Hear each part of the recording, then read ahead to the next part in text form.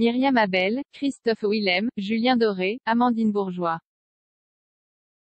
En l'espace de quelques années, la nouvelle star a révélé de nombreux talents.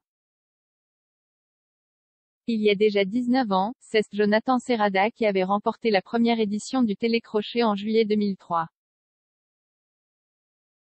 Quelques mois plus tard, le chanteur avait sorti son premier album, Siempre 23, qui s'était écoulé à 65 000 exemplaires.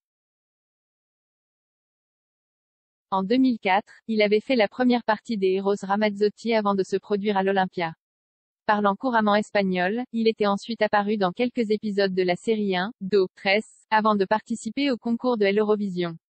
Après l'échec commercial de son second album, Jonathan Serrada avait annoncé en novembre 2014 arrêter définitivement la musique.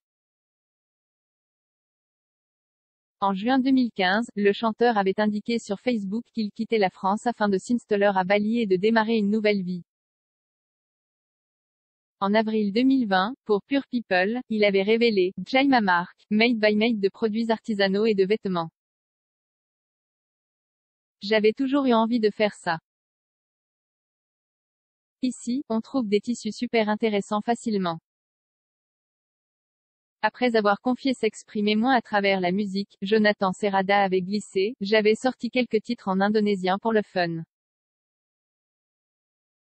Ça avait marché plus que ce que j'espérais, puisque je n'avais pas pour ambition de faire carrière ici.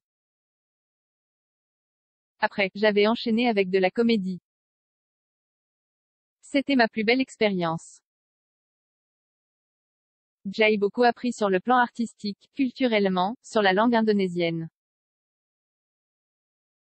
Il y aura peut-être d'autres projets par la suite, mais je ne cours pas spécialement après. Jonathan Serrada est devenu papa au cours de cet entretien, le chanteur avait révélé avoir découvert les joies de la paternité. Je suis occupé parce que j'ai eu un bébé il y a quatre mois. Mes journées sont plus occupées à cocooner, à prendre soin du petit quoi, faire de la musique ou autre chose, avait-il confié.